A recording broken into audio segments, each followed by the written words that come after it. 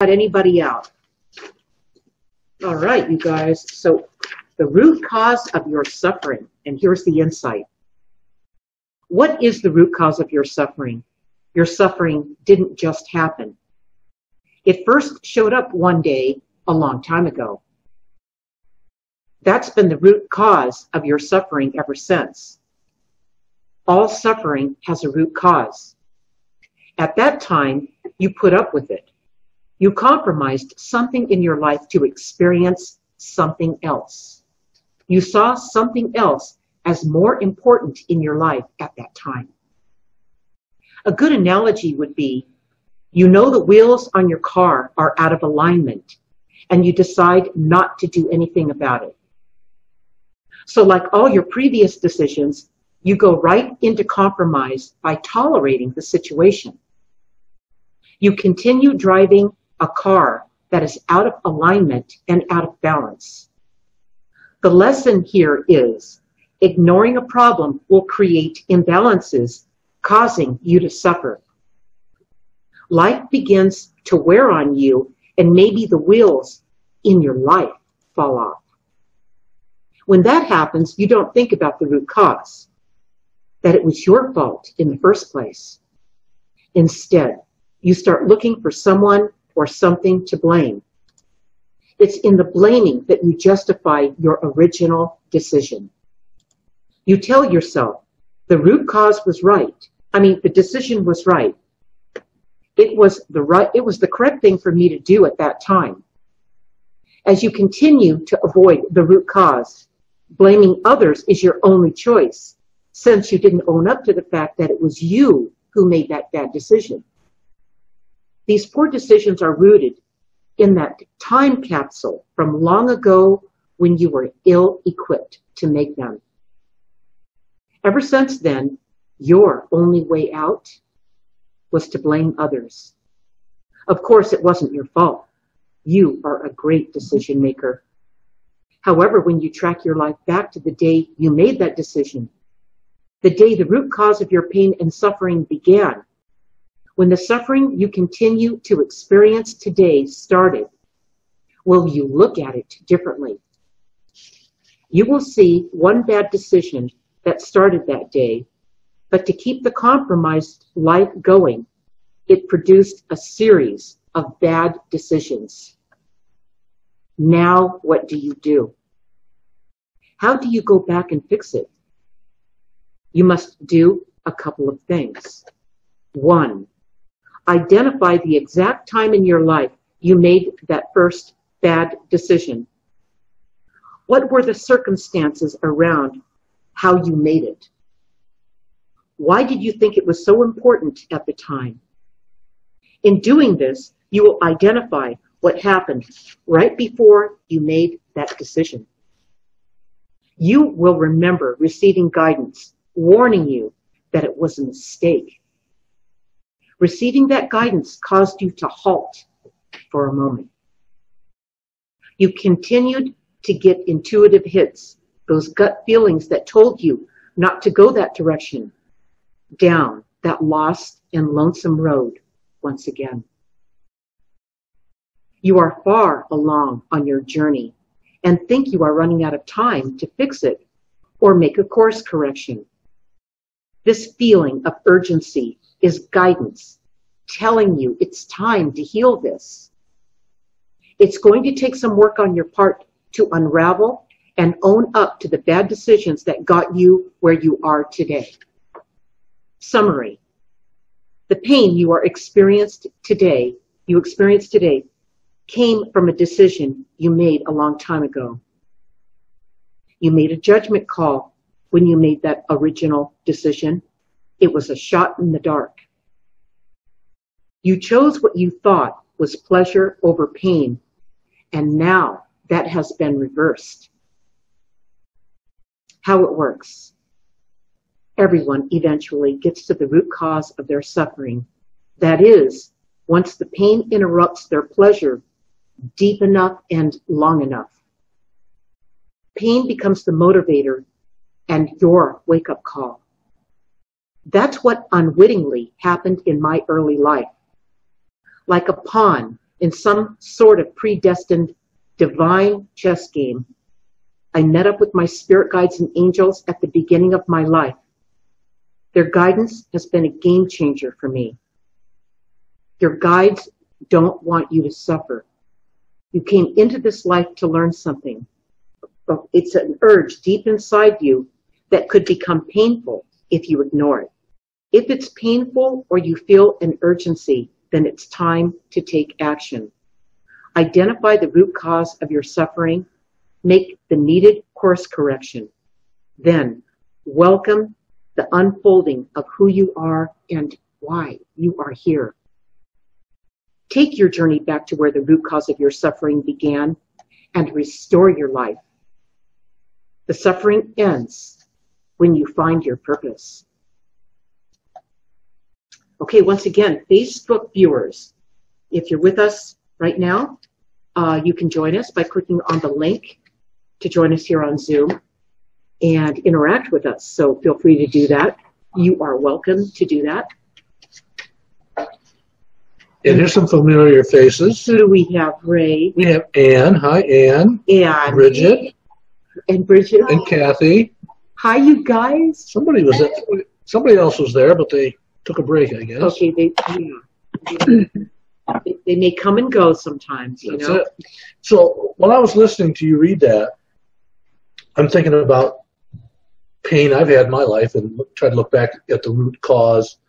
And basically, all along, you were just ignoring your guidance.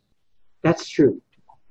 I mean, all those things that told you, well, you know, maybe you shouldn't go that way. Maybe you shouldn't go out with that person. Maybe you shouldn't take that job. Maybe you shouldn't do this. But you took, but you did it anyway. Okay, so what got? Wh- where did the guy start talking about this? I made it. I highlighted this. This is good that Ray brought that up, and thank you, Ray. I didn't expect you to say that, and it prompts me to bring this up.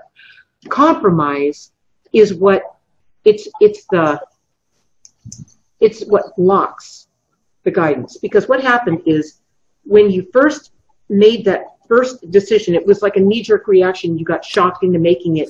You you got scared or something threatened you or you felt you were going to hurt someone's feelings or or something. As a little child you felt uh, concerning about okay it concerned you.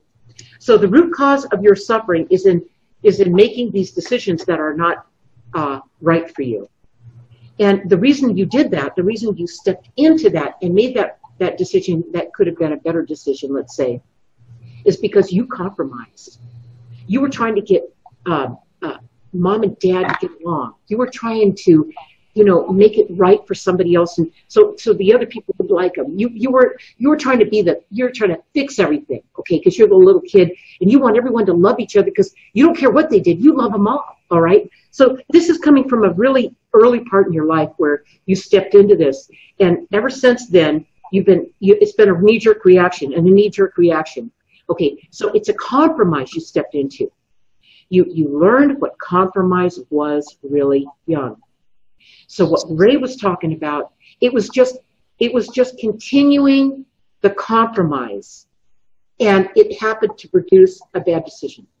At that point, it was compromise that had a hold of you. And it controlled your life. Mm-hmm. That's what's interesting about this. So while it looks like a decision and you make that you don't make the best decisions or whatever, you know, and we all go through that. It really is where we compromised ourselves and we bought into something that that that we've been doing ever since. And that's what we have to catch. That's why writing this in your journal so you can see it the minute it happens. You can catch yourself because you won't catch yourself in the beginning.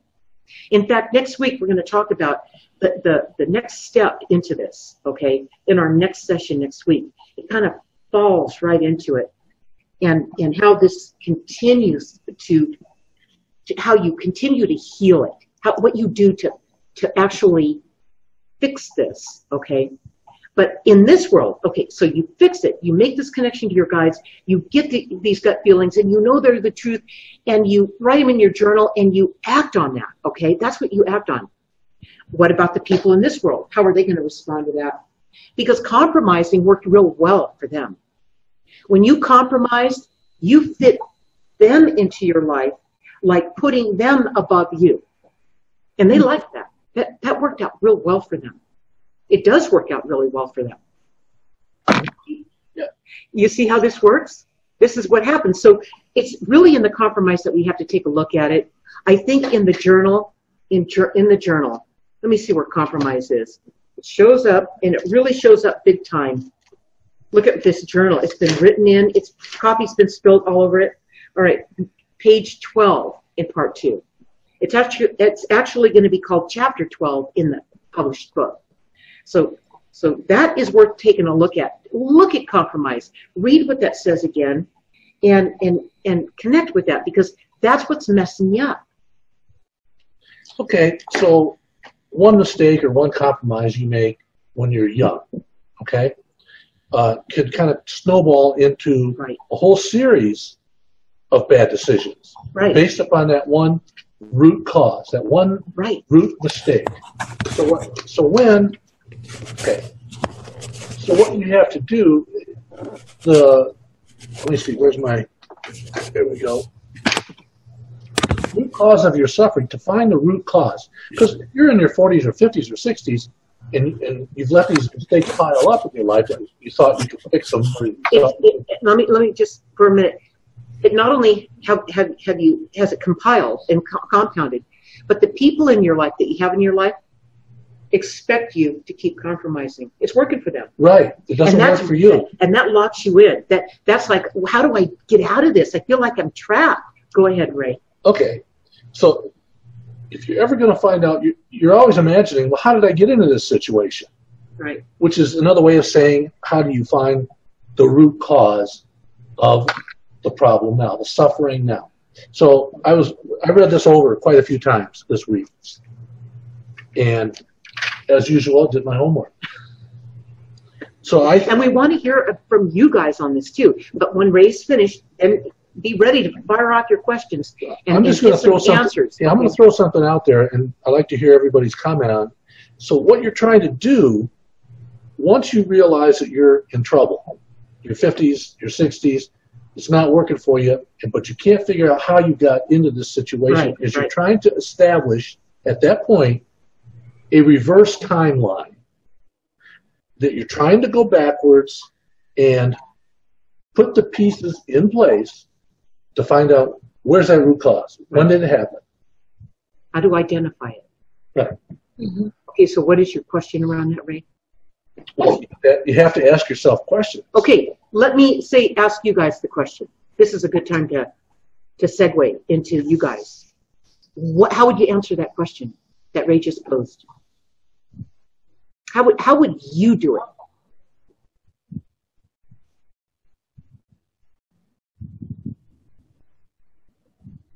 Don't all speak at once. You guys, come on. Well, you have to ask yourself questions. And, and I came, I thought the question was why. Okay, here, here's how I feel that you have to start with this, all right? You have to start, you have to feel, start from feeling the, the pain it's causing in your life. Right. What is, what is that that we keep doing? I'm going to say we because we all do this at some point, right? What is that pain that, that it triggers in us? And we're going, you know, I'm sick of this. I keep doing it. I don't, I don't know why I can't stop doing it. I'm not an idiot, but I keep doing the same thing. I keep making the same decision. I keep going back to the same kind of person. I keep doing this, okay? How do I figure this out? First, you have to write it down. It, you're, you're, it's so much bigger than you are at this point. It's gotten so much power over you, all right, at this point. So the first thing you have to do is to, is to write it down. We're going to talk about this next week too. We're going to talk about making it still. Okay, and that's next week. But you have to write it down because you can't see it, you can't examine it, you can't stop it in, in, in, time, in space, until you write it down and it's identified and it and it's there. Okay. Close your journal. Don't even try to figure it out. It's been with you for so long. You, it's got power over you.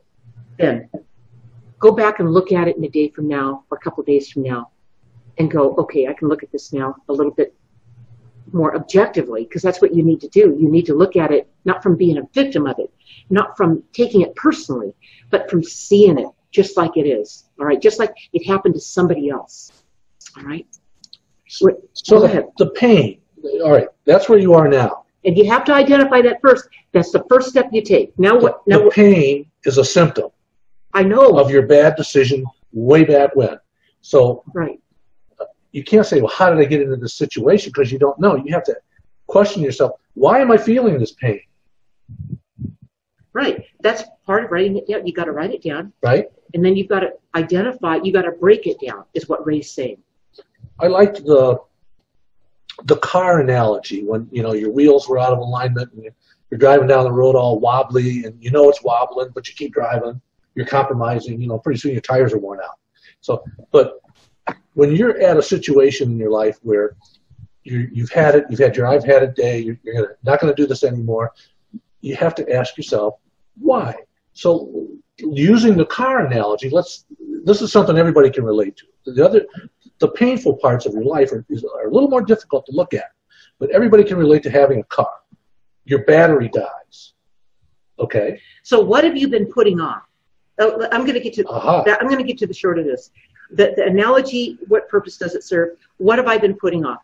And how did I put off that one thing that I said? You know, I lowered the standard in my life. Is what I did. I compromised. And so once I got used to that, I kind of fell into a comfort zone with that uncomfortable feeling, but I kind of, you know, got used to it. And uh, then I started compromising in other places. Like I could have done better. I could have, you know, I know I could have done better, right? That type of thing. It's always, it always comes down to that. And how come I let that slide? And how come I didn't make that call sooner? I could have saved myself five thousand dollars. You know, I why didn't I? right. Why didn't I get out of that relationship earlier when when it was it was fatal? It was not going to happen. It wasn't going anywhere. And uh, what and get on with my life sooner. Okay, so what happens the more we compromise and put up with this stuff, you guys, and and lower the standard in our life, the more damage we do to ourselves. We do damage to ourselves. And that's where we say to ourselves as we get older, am I running out of time? And do I really have the energy and the time uh, to make a course correction? Or is it too late for me? You know, I hear a lot of people say that. And it's never too late. And I'll say, and here's my argument about that. I could just say, it's never too late, just love yourself.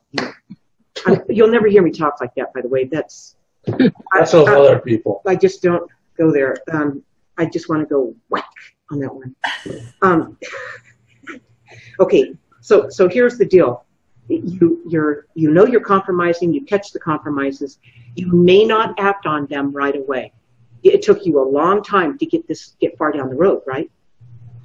That's why you have to write them down. Let me use an analogy with you. I'll give you a life analogy that I went through, something that happened that comes into my mind. The first time I was married, I've been married three times. God, Linda, three times? Okay. Thank God I got out of those other two, you know? Anyway, um, you got to know when you just need to keep walking, you know? And I and that's what I did, and then Ray, and then every, everything's good, you know. But anyway, Third time's a charm. the the first time I was married, I was, you know, I was naive. I I thought we'd be married forever. I was I didn't know. And um uh I found out that he was and I'll use these words in the in the childish way that I thought at the time that he cheated on me. and it doesn't really that's really not really what happens when they do that at all. And the guides get into that and I love how they describe it. But he cheated on me. You know, I was in my 20s. I didn't know any better. And um, and I realized that I wasn't that I had actually compromised quite a long time. I put up with a lot of stuff along the way, and he was doing stuff, and I'm I'm going, what's wrong with him? And you know, he's not connecting with his family. This is not a family, and and I kept putting up with it. You know, I kept thinking, well, maybe he's tired, and maybe you know, and it's okay to do that, you guys. I think that it's okay to do that if it's really true. If that person's in pain, they're not going to act their best. They're not going to be your best, you know, friend to be around. They're going to be in pain, right? Okay. So there's a difference difference between just being with somebody and, and seeing them through a hard time, a rough time, and somebody where they just abuse you and abuse you and abuse you and compromise. Okay. and it's a compromise, and you let yourself fall into it, that would be there. That's where you have to.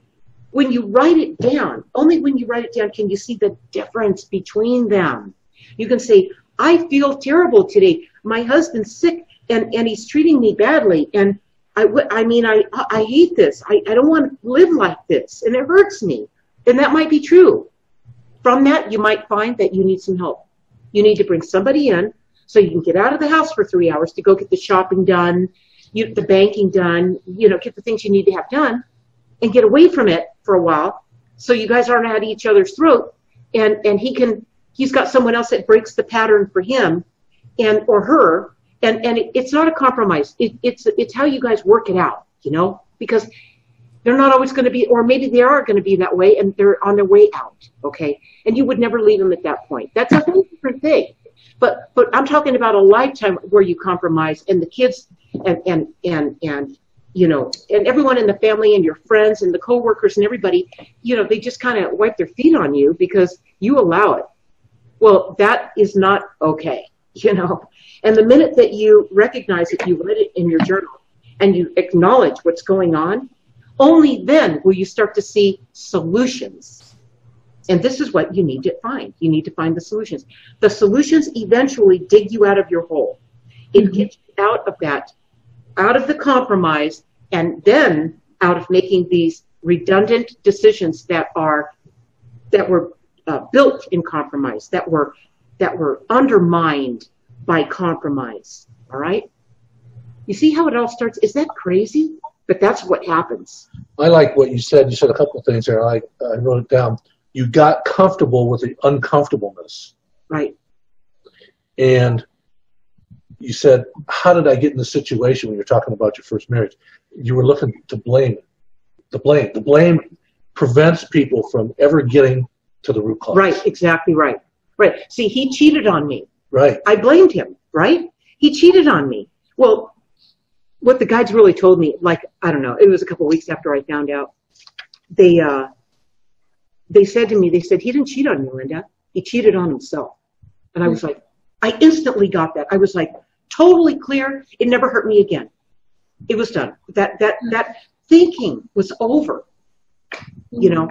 So it when you compromise, the people in your life benefit from that. If, they're the wrong people, if they're the people who push you into it, that that like it, that you put them first and you put yourself last, or maybe not at all. You know. Mm-hmm. So um, this is it, it's a slow process. All of a sudden, one day you get to the point where you go, wait a minute, wait, you know, I don't want, I don't want to live like this. And, uh, and it just all comes to the surface, you know. But when that did happen at that time and I found out he, what he was doing, I took two weeks to think it through. I used my journal. I wrote everything down about what happened, what I was thinking and feeling, and what was going on with me. And until I could see on paper what happened logically, what, what just happened in this world, you know, and how it went down, and my place in it. Then I could see clearly, okay, systematically, this is what I have to do. This is what I'm going to do. It's not haphazard. I had a kid. I couldn't just, you know, react and affect everybody's life and mess everything up. I had to be careful how I stepped. Even if he cheated on me. I mean, which is ridiculous. They only cheat on themselves. So it, it, it, until you write it down, can you look at it with a sound perspective? Otherwise, you can't. Mm-hmm. It's so important. Are you guys using your journal? Are you writing in it? Yes. Oh, talk to me about it. Tell me how you're doing. Well, I, I use my talking board and then I I write down what they tell me. Good, good. If I have dreams, you use it by yourself. I do use it by myself. How does that work? I haven't been able to get it to work. Right here. Use this. Try a pencil. Yes. use I, this. I uh, done. Yeah, it's and optimized. I, have learned a couple of little tricks. Um, actually, Veronica and I were do, doing it together. We were zooming and doing it together, and we're starting to learn some little tricks, some little nuances that's making it easier for us to talk to the board. But one thing is, um, if it starts going counterclockwise, then the letters it's going to point to are Z through N. If it's going clockwise, the letters it's going to point to are A through M. Okay. It kind of divides the board, and you have to watch Interesting. and see which way it goes. And the same thing with the numbers. Like half moons. Yeah, Yes, like half moon. exactly, exactly. And another thing I've I've learned is they abbreviate They do. Yep. and Like texting or like um, twittering. Now, now, now um, uh, Kathy, tell uh, Anne how they do that ex- in your case. um, sometimes they'll just give me one letter hmm and they want me to figure out the word. Okay, like example, what letter? For example, um, D for do and Oh, U for Y O U. right, right. You they do that all the time. You, and then sometimes they'll go to letters like when they're trying to say and You and too. you too. They'll use the two. Uh, Uh-huh. Or they'll use are you, are you, Yes. if they're asking you a question, Okay, they'll say good. are you a lot. you guys are doing great. Okay, keep going. Um, they have a wonderful sense of humor. They do. Um, I love it. the other day I was, uh, I was getting ready to talk to him, and my pendulum had a longer chain. And I said, Is my pendulum chain too long? And they said, Yes. Back and forth is yes for me, and side to side is no. And they said yes. And I said, Okay, give me just a minute. Let me fix it. So I shortened the chain, and they started talking to me, and they said, Are you about ready? I love it, Kathy. That is so good. Oh God, and they are like that too. They really are. I mean, we've had things where they've said where it's just cracks you They are funny, and They they're but they're effectively funny. They're effective. unlike me sometimes. That's true, Ray. They- They don't tell the same joke No, more they than do once. not. Oh, thank God. Okay, go ahead, Kathy. Um, sometimes they'll spell a word out, but they don't spell it exactly. Mm. Like um, the other day when they were talking about my brother-in-law Mike, they spelled his name M-I-K, not M-I-K-E, just enough to. Um, Phonetically. they want you to think, what are they saying? hmm I don't Yes, they do. They want you to. Here's what they're training you to do. Use your intuition. Yes, exactly. And th- no, they're tra- training you to use telepathy. Right. Now, telepathy is the language of choice because it's what it's how they speak to each other Uh-huh. where, where they are. So they really want to speed it up so that you know they're kind of running you through the paces so that you learn to Yes. become more telepathic and, and easier to reach. Go ahead, Kathy. Right on. they gave me a message. Um, I was talking to my friend Victoria about joining the group, and I think she's probably coming on Thursday. Great. We're going to be there this Thursday. Yes, but um, they gave me uh, abbreviations, and I had to figure out what they said. So I figured out the letters that they had given me is that they wanted to talk to me about Victoria, and they want me and Victoria both to come to the Sedona two-day thing. Um, and then Scottsdale. The Scottsdale. Yes. Um, and then there was um, letters that I couldn't figure out what it meant, and I said, "Will you give me some more help on the? Uh, will you give me a little more insight on this?" And they said, "No." they wanted me to figure it out. Right. Right. And and what happened? Well, I figured out, and this is when they told me to buy a lottery ticket. Um, the part that I couldn't figure out was you may need, you may require cash. Okay, of course I will. Um, play on the new lottery ticket is what it came out to be, or what I uh, inter- interpreted it to be. They wanted me to play a number on the pick three for the lottery ticket so I could get cash to come to Sedona. Mm. Well, you never know. You I don't Did know. they give you the numbers? they gave me the numbers. I'm not going to share them. know. Did you win? um, they told me to play for Friday, which is the 10th. Okay. And you know, it, it can happen. It may or may not happen. Uh, we one time we went to the uh, we took the talking board. We were at a remote viewing event in Las Vegas that we got invited to. And when we were there, we, you know, we brought the talking board, and they were like so amazed at this. And what? And tell them what happened, Ray. Well, I think it's interesting that we got involved with remote viewers. Yeah, to They- start with. They, they, they came, Yeah. they approached us. yeah, they, uh, they approached us because, because they knew what we did with the board, and we did an experiment with them for what, a year, maybe? Yeah. A year where we would, um, there was a database of photographs. There were tens of thousands of random photographs in this database, and they would pick two or three numbers that associated with a photograph in the database without looking at the, the photograph. And the remote viewers would, with only the number, would try to see that photograph, It's called a coordinate. a coordinate, okay? And then we would use the board to describe the photograph. And it was just incredible what what what the guides saw. And that's why they invited us to to uh, to Las Vegas. They had a lot of these photographs. Like one of them was uh, a picture of, of radio telescopes, you know, that space telescopes, radio telescopes, a whole field of them trained up in the sky. Now, the message that came through the board was you could talk to God from here. Oh wow. And it was like that all the time. It was a, a, a Tell them about the sports bet. A tea shop, you know, a tea shop in London. Described the tea shop. It was a green tea shop. It had said this, you know, and so they had the pictures out on the table along with what came through on the board.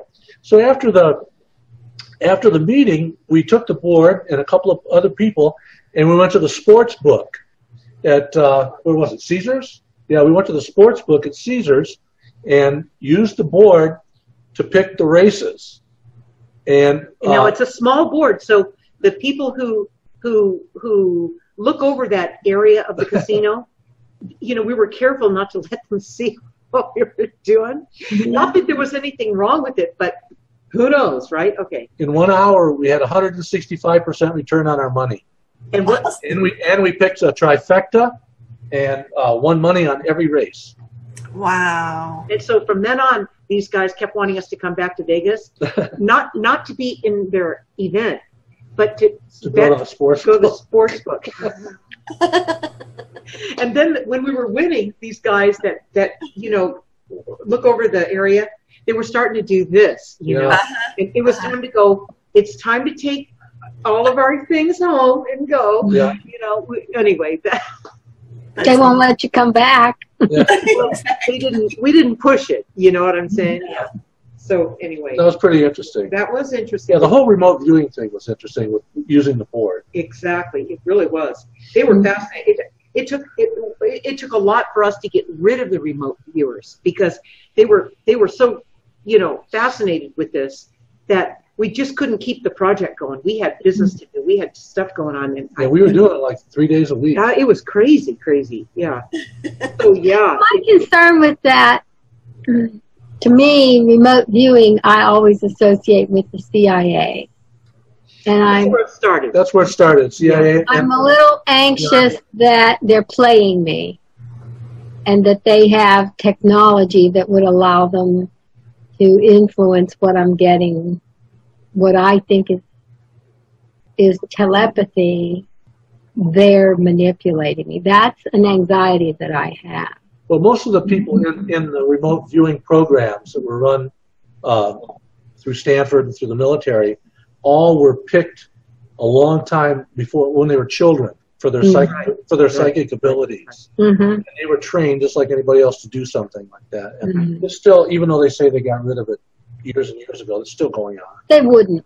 Yeah, they wouldn't get rid of something that works. Well, that's they- another reason, and that's another reason to work on to write things down and to Mhm. work on staying tuned into what's going on with you because it's not only the fastest connection to your guides and to your uh, clarity of mind, but it also catches things like that, things that pop up that don't look like a fit.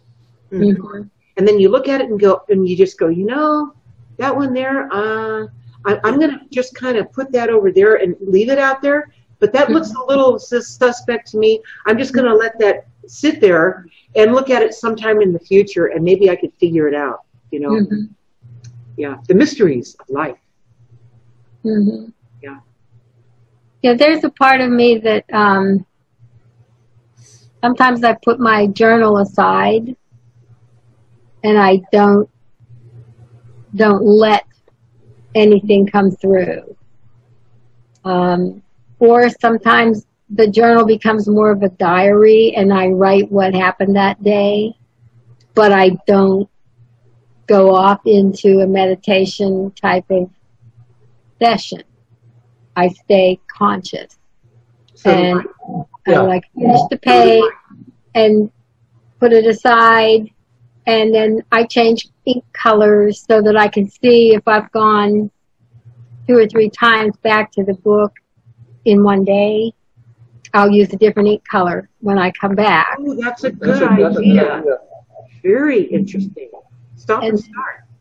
Yeah, then I can see this was a block, this was a block. Like I guess when Beethoven wrote his his symphonies, he didn't sit down and write them all at once. You know, he'd do one movement, and then he'd do another one. Good one. And, yeah, and he changed the names of it. And I just feel like I have to protect myself because I have political opinions that um, are hard for a lot of people to. People are afraid of the truth about Keep your eye what are what's actually going on in our country Or in the world. The yeah, and I feel like I have a pretty good view of it because I do research and I find out, you know, the stuff that isn't covered by mainstream media. And I don't allow myself to be terrorized by the constant streaming of bad news. That's, Um, good. That's good. and so I've learned that news I'm meant to hear, somehow they get it through to me. There you go, Anne. Good. and if I'm not meant to hear it, it just goes right past me.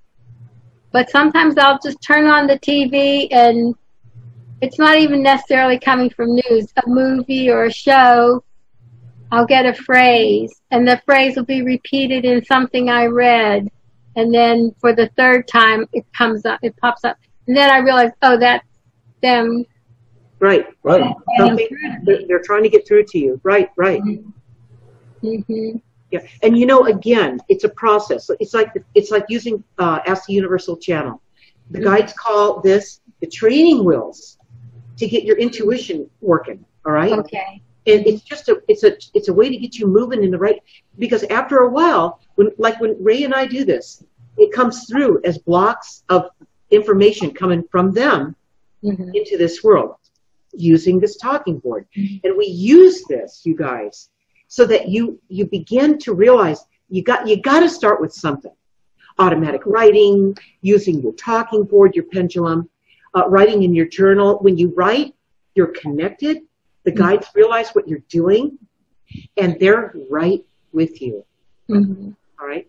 So it's always working for you. It's just that we need to learn how to how to adjust and, and, and make that connection to them to, to bring the noise down in our life hmm so we can begin to be uh, i guess the word would be uh, at, at peace with ourselves enough so we're open it's like when I get in the shower, I mean, literally every time I get in that shower, even now, even before I get in it, they start sending me all kinds of stuff. She I'm- comes running out of the bathroom all wet with a towel around. She says, I write this down. Write this down.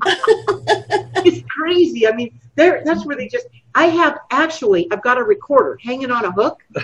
I do. That's a battery recorder, so I don't. I don't electrocute myself.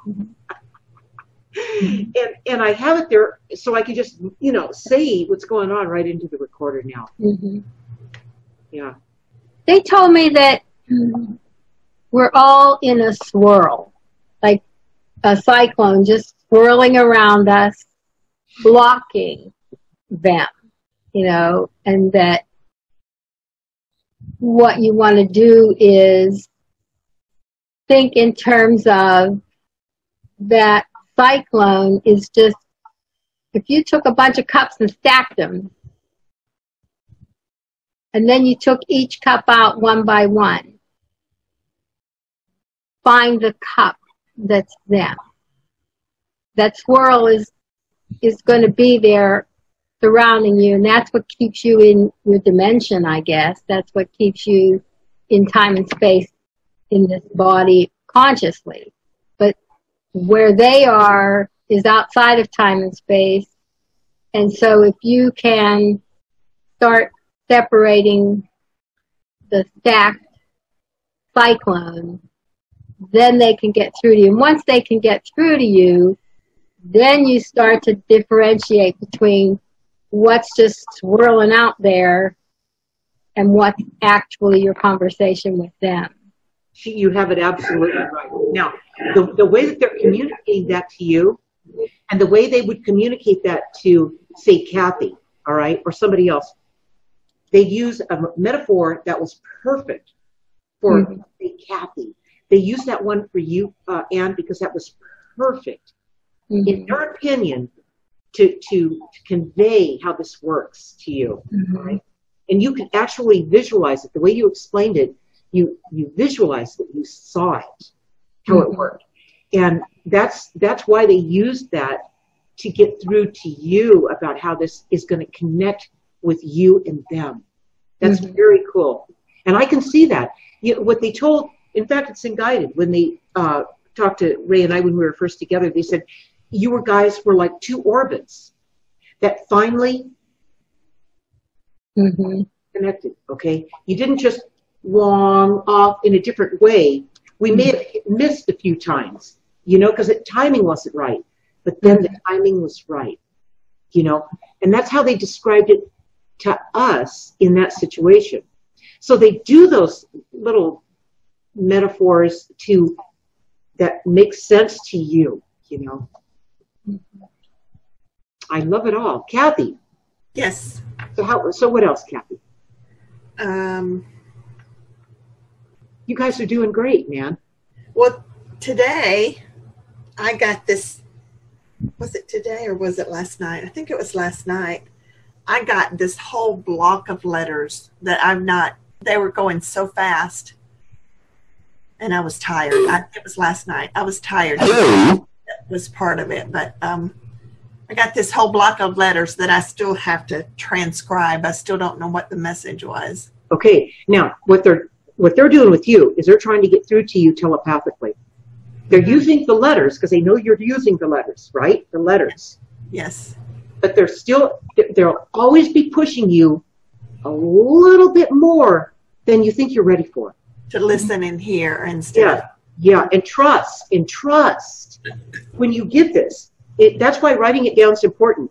The, the more that you write all this down, the sooner you'll see that that it's right here in this world. It's it's physically here, and now you start to trust what it is because you can examine it. You can run it by your a few times a week from now, a month from now, a year from now, and you can start. You're doing your due diligence is what's going on. They want you to do that.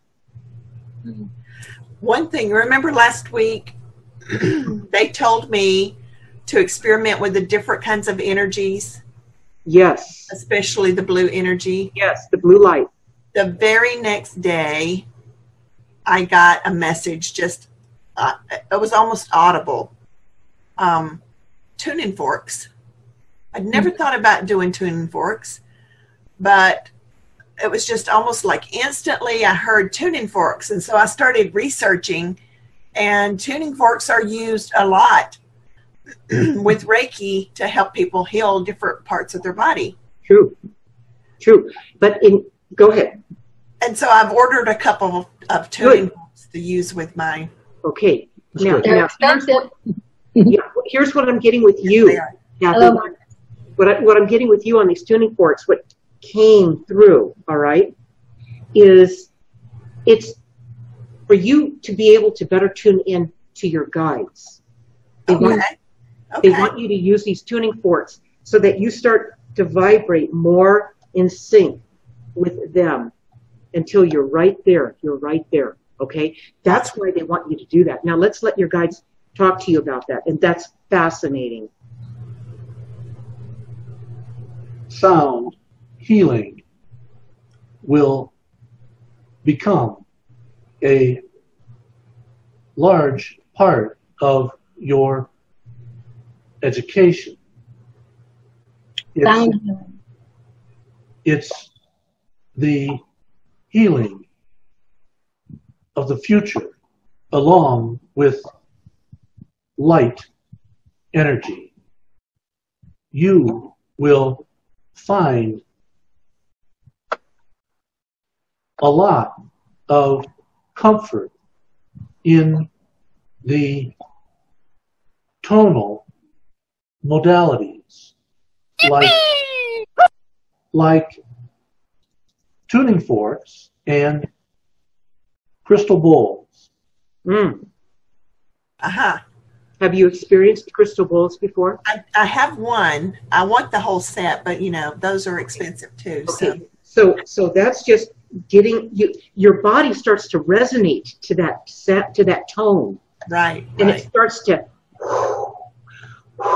it starts really connecting with it it is it will shift you and shift you and shift you and that they will be able to reach you better and you'll be able to function better every on every front all right that's really good You're like a Rubik's Cube.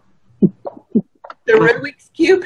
Yeah, they're just moving panel by panel for you. Oh, yeah, yeah.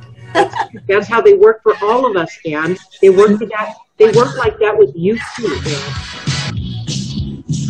Ann. who do we have coming here I don't Is know. that Nina? That's Nina, we Miss see Nina. Nina out there somewhere, but Nina. we don't see your camera. Turn on your camera, kid. we are having fun with this, aren't we, you guys? How cool is this?